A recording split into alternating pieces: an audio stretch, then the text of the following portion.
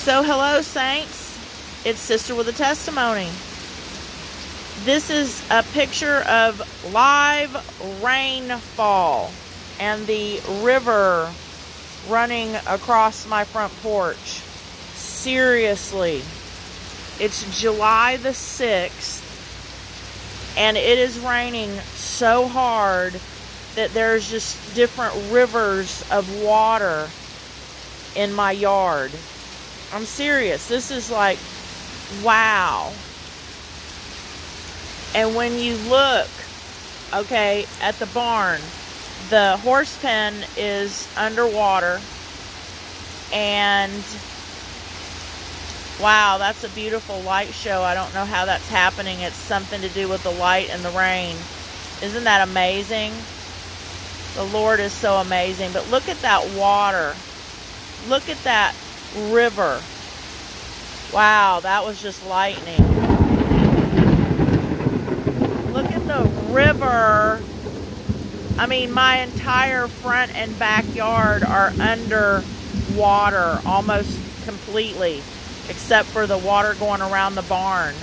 So I just wanted to share with you guys how rivers of living water are supposed to be flowing through you. And I pray this morning that rivers of living water are flowing through you. But I wanted to cast your attention onto the, the word that I received from the Lord today is when the enemy comes in like a flood, you will lift up a standard against that enemy. Look at that water. Isaiah 59:19. So as the result of Messiah's intervention, they shall reverently fear the name of the Lord from the west and his glory from the rising of the sun. When the enemy shall come in like a flood, the Spirit of the Lord will lift up a standard against him and put him to flight. For he will come like a rushing stream, which the breath of the Lord drives and they shall fear the name of Jehovah from the west and from the rising of the sun, his glory. When the adversary shall come in like a flood, the Spirit of Jehovah will lift up a banner against him. The Spirit of the Lord lifting up a standard or a banner against the enemy brings to mind another passage, Exodus 17 8 through 16. Here Moses was leading the Israelites in the wilderness and they came under attack by the Amalekites.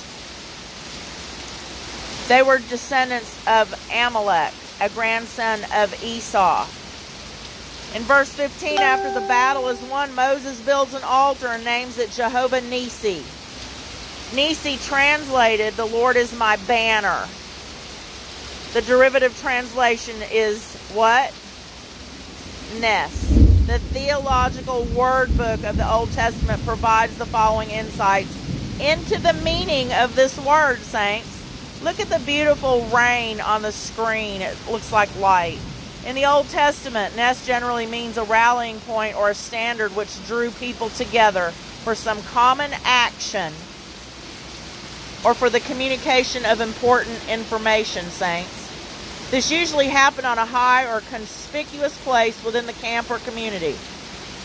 There, a signal pole, sometimes with an ensign attached, could be raised as a point of focus or object of hope.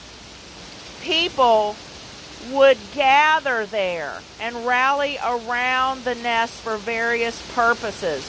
But one of the most important purposes, saints, was the gathering of troops for war.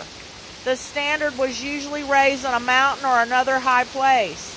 Moses stood on top of that hill with the rod of God in his hand and showed whose camp he and his people belonged to. It rallied the Lord's people to fight the Amalekites and it gave them encouragement and it gave them hope. Praise the Lord. Lord, we are your people and we need hope. Saints, when Moses held up his hand, Israel prevailed, and when he let his hand down, Amalek, Amalek prevailed. The rod in Moses' hand was given by the Lord, representing divine appointment and intervention. The constantly upraised hands of Moses showed the fervent prayers of his heart as he witnessed this battle. Saints, if you're going through a battle, raise your hands as a standard, as a banner. When you raise a standard or a banner, you show whose camp you are in. When you raise the Lord's banner and you praise Him and you worship Him, you're encouraging yourself, you're encouraging other people that they belong to the Lord and they are under His protection. Saints, you are under His protection. Raising the banner also intimidates your enemy. It puts your enemy to flight. Anytime I take my standard up, my shepherd's staff, my rod, people get frightened when I raise it. It looks like a weapon. Some of them have no clue what it is. They don't understand that the raising of the Lord's banner leads his people toward victory. Saints, when I take that staff in my hand, it becomes a weapon. It's a banner. This is who I belong to, and this is who you're going to have to fight to get through to get to me, and that's the Lord God Himself. Raise the Lord's banner. Move forward in victory, saints. It was true in the past, and saints, when that enemy comes in like a flood and you raise up that banner, in the future, it's going to be true. Lord, you have given a banner to those who fear you, that it may be displayed because of the truth, that your beloved may be delivered. Save with your right hand and hear me. What is the Lord's banner over us? What is it? We're his people. What is his banner, saints? Brought you to the banqueting house, and his banner over you is love. It's interesting to note that in the amplified version of Isaiah 59:19, which references the below verses, also mentions the feast or the banquet hall. Matthew 8:11, I tell you, many will come from east and west and sit at the table of Abraham, Isaac, and Jacob in the kingdom of heaven. And people will come from east and west and north and south and sit down at the feasting table in the kingdom of God. Luke 13 29.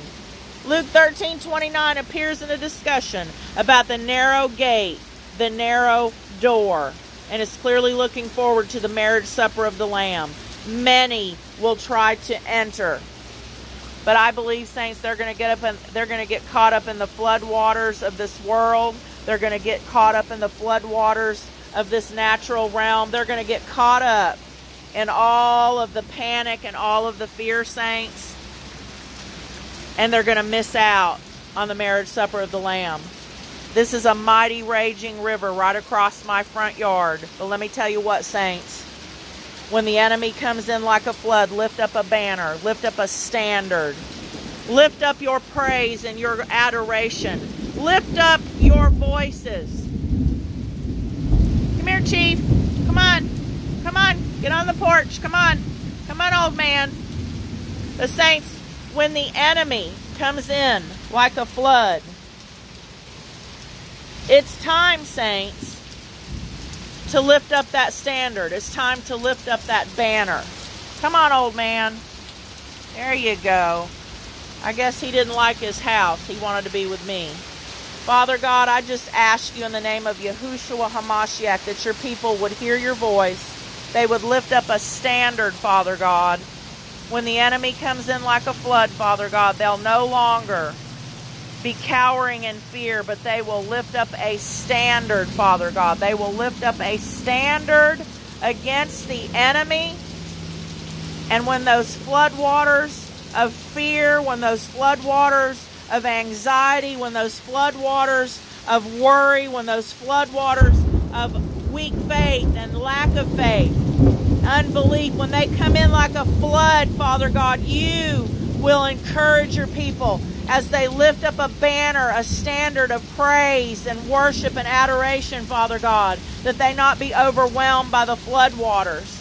And Father, I just praise you and thank you that as Moses lifted up that standard, we will lift up that standard physically, Father God, in flags and banners, and incense and signs, in our staff of authority. But Father God, most importantly, we will lift up a standard of praise, a standard of worship, a standard of adoration. And when those floodwaters come, Father God, our hope will be in you. Father God, I thank you for grace. I thank you for mercy.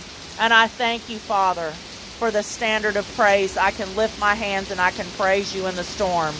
I can praise you in the storm, Father God. Saints, have a beautiful day. The day that the Lord has made, July the 6th, 2020. Saints, I got to say it. This is not the kind of weather that you see in July in Texas. Something is going on in this world. Wake up, saints. Something is happening supernatural.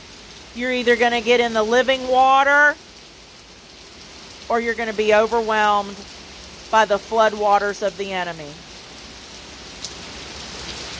I love you. God bless you. It's Sister with a Testimony.